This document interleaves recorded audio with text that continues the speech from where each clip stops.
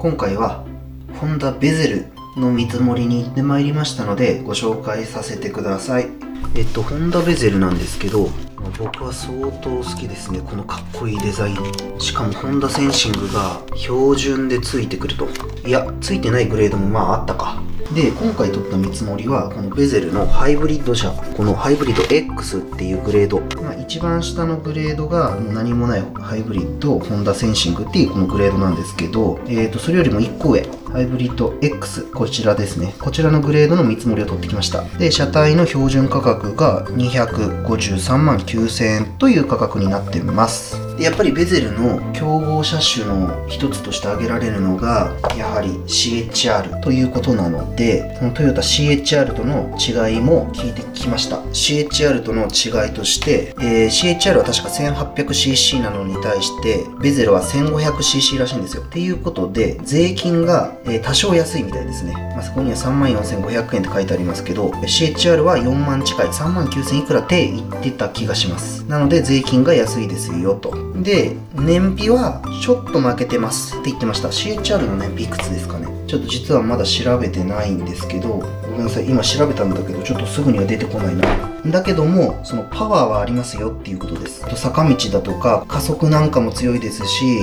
トルクがありますと。運転の楽しさというのがすごいありますって言ってましたね。で、あの、ホンダセンシングも、まあ、標準でこの価格の中に入ってますので、まあ、非常に乗り応えがあったり、安全だったりっていうところを強調しておりました。で、早速見積もりを見ていただこうとは思うんですが、ちょっとその前に、実はこういうチラシがあったんですよ。見てください。ベゼル。なんと、ご制約で10万円分プレゼントって書いてますよね。年度初めぐらいから始まったキャンペーンみたいなんですけど、ベゼル、こっちにもステップワゴン、ハイブリッド、スパーダ、こっちは15万円プレゼントって書いてありますね。まあ、その他にも、フリード5万円プレゼント、フィット、ナビプレゼントっていうキャンペーンをやってるんですよ。なので、これはもうすごい期待できると。見積もりを見ていただこうと思います。じゃじゃん見積もりになります。とまあ見積もりを見ていきますと、まあ、今回ちょっとナビゲーション入れてもらいました。8インチだったかなパナソニックの8インチのナビゲーション。えーと、このフェイスパネルとナビ ATT とこのナビ 195VFEI これでセットですね。ナビゲーション。で、それから ETC のセットアップ料金が入ってて、割引の ETC 還元マイナス50円っていうのも入ってて、トータル、えーと、オプションのトータルが16万9452円となっております。バイザーだとか、あとフロアマットは入れてません。まあそれはまあ社外で安いのがあるとは思うので入れませんでした。ナビゲーションは入れちゃいました。あ、そうそう。この取得税とか重量税。これかかっちゃうんですよ、少し。ベゼルのハイブリッドはここかかっちゃうんですよ。減税がまあ少しはされてるんですけど、4万5千円かかっちゃうんですよ。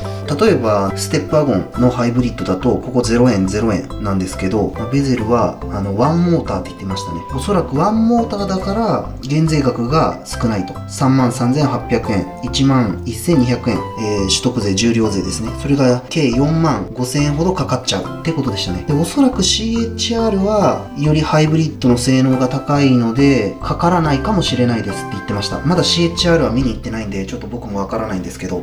で、ベゼルは、ワンモーターだからおそらく減税額が低いと。で、ステップワゴンなどは2モーターらしいんですよ。2モーターのハイブリッドは減税で0円になるんじゃないかなって言ってました。で、それから納車費用っていうのが入ってたので、これもカットしてもらって、えーと、あと何が入ってたかな希望、あ、ナンバーだ。希望ナンバーもカットしてもらって、で、希望ナンバーをカットすることで、ここの検査登録届け出っていうところの手数料もマイナス2000円ぐらいになると。で、それから点検パックもこっちに見ると入ってたのので、これもカットということにしました。また新しく見積もりを作ってもらいました。それがこちらになります。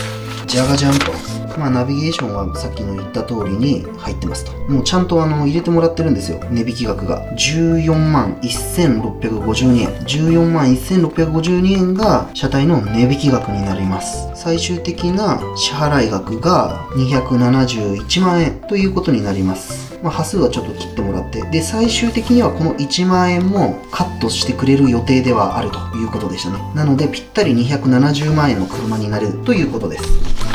ただあのフロアマットとかバイザーだとかは入ってないです。それはあの別途買う必要はあるんですけど。でさっきちょっと言ったこの10万円プレゼントおさらにこれ10万円もプレゼントされちゃうっていうことは計24万円ぐらいの値引き。そう思うじゃないですか。いや実は違うんです。ここのディーラーの営業さんもすごいあのすごい正直な人で実はこのキャンペーンがまさに客寄せのキャンペーンであると。10万円プレゼントとは言っておりますが、えーと、元々のこの値引き額の14万1652円っていうこの、まあ、値引き額を分けると。車体値引きが4万1652円。で、キャンペーンの値引きがこっちに10万円と。こういう風に最終的には分けると。この広告10万円分プレゼントとは言ってますけども、まあ、あのお客さんを呼び込むための、まあ、一つの手法であるとそういうことは言ってました。なので結局のところ値引き額は変わらないみたいです。なので今買うとプラス10万円プレゼントっていうわけじゃないみたいですね。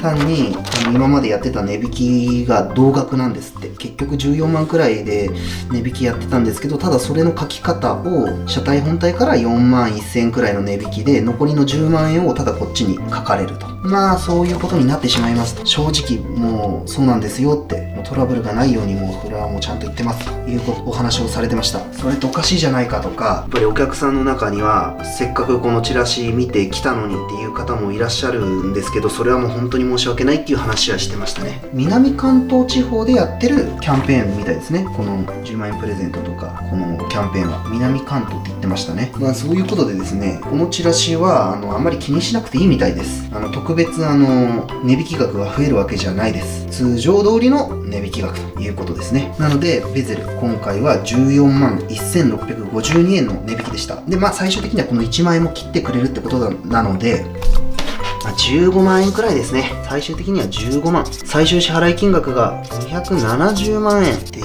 ことですね。